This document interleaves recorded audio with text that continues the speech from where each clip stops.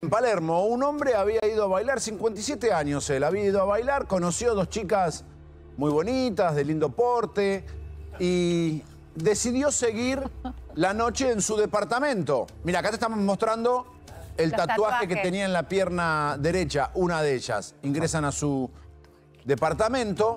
Acá las vemos a las chicas. Claro, el hombre estaba en el lugar, fue a su departamento. Eh, insisto, boliche de Palermo, toman algo, bailan, 57 años el hombre, Hombre- 21. Un hombre que no sabía que iba a ser engañado.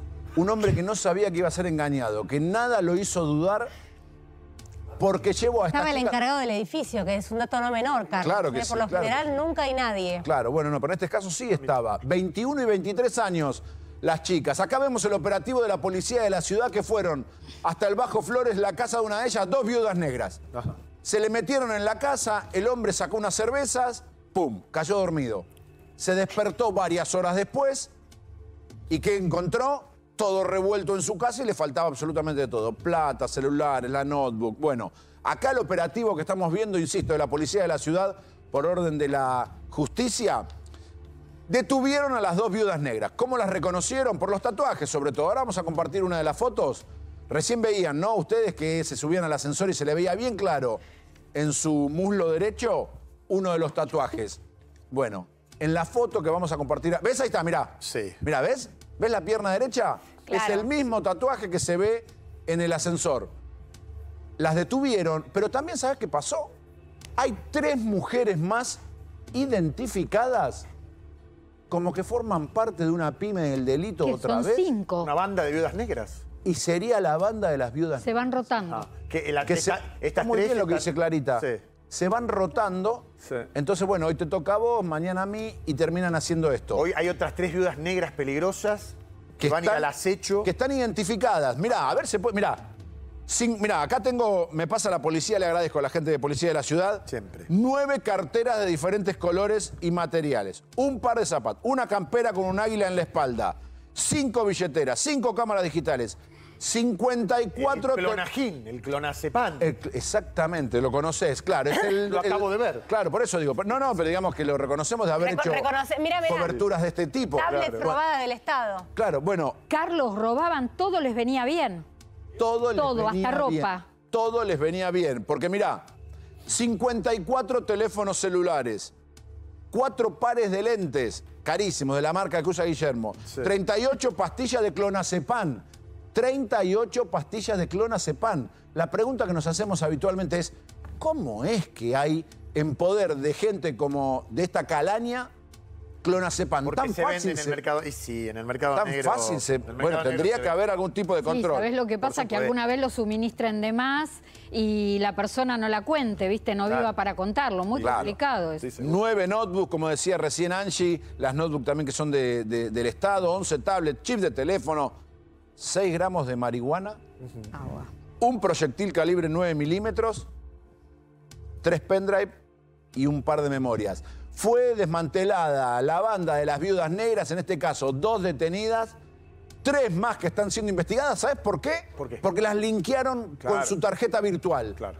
Mirá. Con su, con su cuenta virtual. Hacían. Se transferencias. pasa- Claro. Exactamente. Se pasaban la plata entre ellas para tratar de perderla en el circuito financiero. Pero no, fueron investigadas. Mira, acá estaban entrando otra vez al departamento. ¿Ves el hombre Sí. contento con estas dos chicas? ¿Sí? Dijo, voy a pasar la noche de mi vida y tal vez la Claro, pasó, pero ¿eh? ¿sabes qué? El hombre. eh, Nada justifica lo que hacen estas mujeres que son No, ya sé lo que estafadoras. Ya sé lo que pero se tiene que dar que cuenta decir. que no puede llevar a gente desconocida No, claro, la a horas culpa- de conocerlos de- y claro. meterlos en el domicilio. lo que está no le podés Clarita- caer al hombre que pensaba, Claro. Carlos, que había que generado está- una amistad con las dos Claro, señoritas. que tenía buen levante. Una amistad no se genera en pero yo- dos yo horas. Guille, No, claro. por Claro, y Dios. vos Clarita- estás pensando con, con, la- con tu Claro, yo cabeza. Claro. con la cabeza. Clara está haciendo lo que hacen muchos, que es echarle la culpa a la víctima. ¿No? No, este pobre hombre no. dijo, voy a pasar. Bajo ningún punto voy a de pasar, vista. Voy a pasar. No. Perdón. Nos desconocemos a partir de hoy otra vez. Ayer nos habíamos amigado. Voy a Y pasar- hoy se empieza el genera problema. Este tipo de roces entre Estrione y Salguero. Este hombre dijo, voy a pasar la noche de mi vida, qué lindo, conocí a dos pibas, nunca me pasó, no sé qué. Claro, él tiene que desconfiar.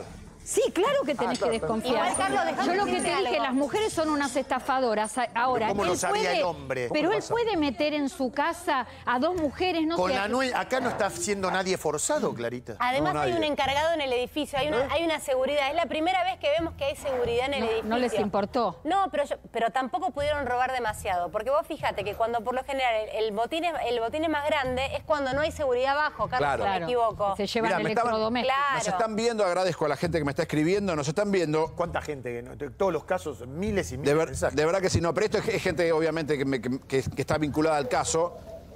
Las chicas eh, eran trabajadoras sexuales. Claro.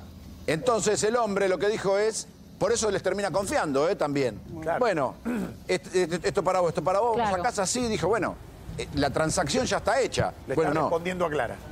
Claro, me está respondiendo a mí. Eso es. Confió porque dijo, cerré un trato comercial. Ya está, hasta ahí. No que lo iban a dormir y que eran las viudas negras. Se despertó como 8 o 9 horas después, completamente drogado, con todo revuelto en la casa. Y bueno, todo lo que falta. Está lo- justificando a la víctima. Y es cierto, la víctima siempre es la víctima. Claro, obvio. Claro. Y es don- a quien uno tiene que apoyar, ¿no? Pero Completamente. Bueno, cerró como esto las dos viudas negras en esta causa detenidas, tres más investigadas por la justicia. Bueno, eh, atención, porque ahora sí, Clara, ¿cómo te va? ¿Qué tal? Ahora sí, oficialmente. Oficialmente. No es que era una colara virtual, pero entró en el tema y, Clari, y, y, este, Estrione le- le- terminó. ¿Estás contenta Sí, con la explicación? No, sí, al final ya se tranquilizó todo, pero al principio, al principio viste que me saltó enseguida A cuando la hablé. ahí porque defiende su, su laburo. ¿Entendés? Pero ¿no? después ya está, ya, ya me Bueno. calmé, todo bien. Hablemos de eh, el aumento de las jubilaciones que se puede dar la semana que viene, dependiendo de lo que ocurra en el Senado, Clara. Dependiendo de lo que ocurra en el Senado, viene complicado el tema en el Senado. Mira, lo que se logró en, en las últimas horas es que el gobierno diga sí a un, a un punto más del proyecto. Por un lado, oficialismo y oposición siempre coincidieron que las jubilaciones y pensiones tenían que aumentar por inflación mensual, la inflación, el IPC que da el INDED, pero el resto de los puntos que eran pagos adicionales, deuda a las cajas provinciales previsionales, bueno, en eso no había acuerdo. Pero ¿qué es lo que se agrega en el día de ayer? Que el gobierno estaría dispuesto a pagar un adicional que es la diferencia que hubo entre la inflación de enero, que fue del 20,6, y la compensación que se dio, que resultó del 12,5. Ajá. El gobierno estaría dispuesto a eso ahora. Los demás puntos, eh, las deudas a las cajas provinciales, está complicado. El tema del adicional del 50% una vez al año, en el mes de marzo de cada año, de acuerdo a la, vari- a la variación del empleo registrado, no hay forma de arreglo.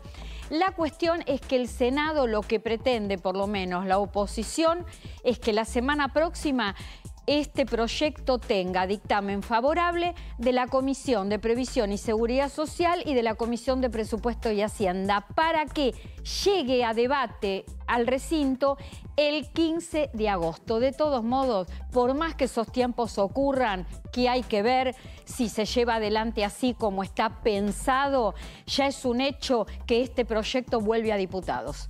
Es decir, que no va a estar en lo próximo convertido en ley porque ya está habiendo modificaciones, el Senado lo va a tratar, pero va a tener que volver a diputados. Bueno, Clarita, siendo las 10 y 49, abrimos el consultorio de Clara con preguntas, como te decimos siempre. Muchas de ellas muestras de lo que pregunta mucha gente, ¿no? Vamos a, a la primera. ¿Podemos ir? Ahí está, mira. Ahí está. Son preguntas que le sirven a muchísimas personas que nos están viendo en este momento. Claro. Una de las más recurrentes. Si uno tiene jubilación y pensión, ¿cobra aumento en los dos beneficios? Dice esta pregunta. ¿O en uno solo por decreto? No. Por decreto, por ley, por la vía que se establezca, siempre los aumentos se establecen para todas las escalas de jubilaciones y pensiones. Y si una persona tiene un beneficio, dos o tiene tres, pe- eh, beneficios previsionales, prestaciones previsionales, el aumento es para todos esos beneficios. Lo que significa que si esta mujer, esta mujer, eh, si esta persona, perdón, tiene jubilación y pensión, es una señora, eh, creo que su nombre es Alicia, bueno, en este caso cobra 4,58% de aumento en la jubilación y 4,58% en la pensión con el cobro de agosto. Muy bien, tenemos otra consulta para Clara. A ver. Hola Clara, buenas tardes. Quería saber por qué motivo no me dieron el bono este mes. Bueno, a ver, este mes esto eh, data de las últimas horas. ¿Por qué razón? Porque se debe exceder su beneficio previsional del haber mínimo. Lo que debe tener en cuenta que en el mes de julio el haber mínimo estaba en 215.622 pesos y que en el mes de agosto va a estar en 225.454 pesos.